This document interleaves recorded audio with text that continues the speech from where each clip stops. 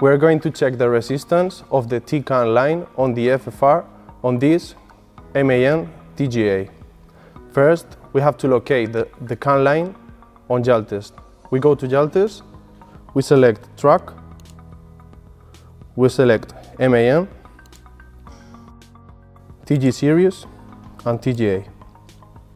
We go to diagrams and we select the electronic architecture of the vehicle.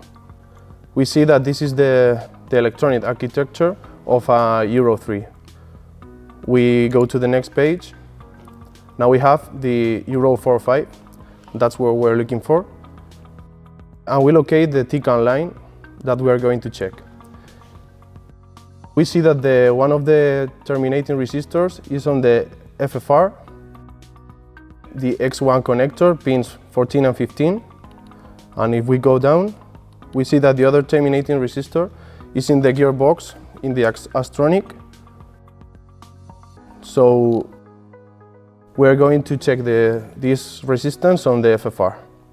We select the FFR and here we can see the, the pins of the control unit, the X1 connector, that's what we're going to, to measure the resistance, a photo of the control unit, and we have to look for pins 14 and 15. So let's go to the truck and look for the control unit.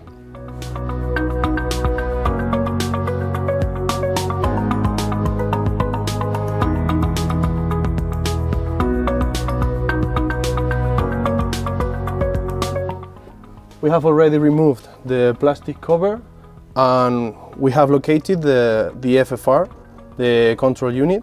Here it is.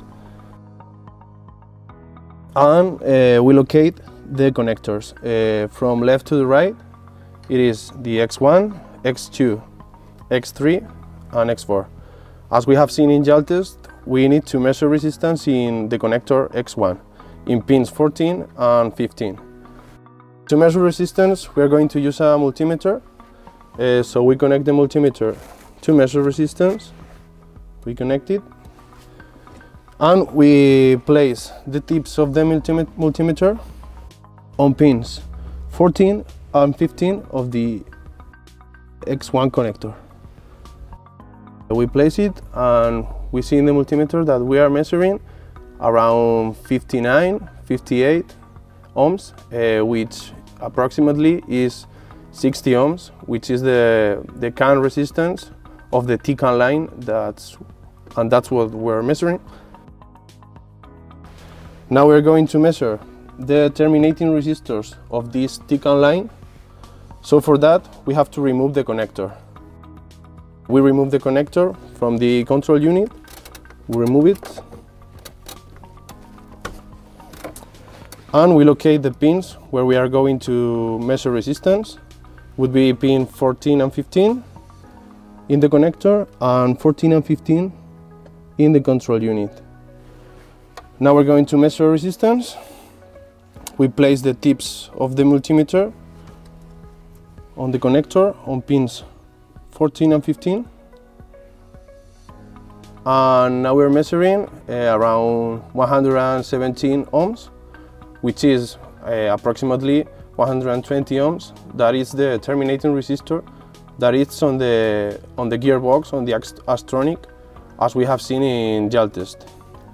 If now we measure resistance uh, in the proper control unit, we measure it on pins 14 and 15, we place the tips and we are measuring uh, around 119 ohms which is the, the terminating res resistor that it's on the FFR in the control unit. It's around 120 ohms and that would be the, the second terminating resistor of this TCAN line. As we have seen, in order to check the correct state of the resistances in a CAN line, we should locate the terminating resistors using JALTEST and then perform the necessary checks with the help of a multimeter.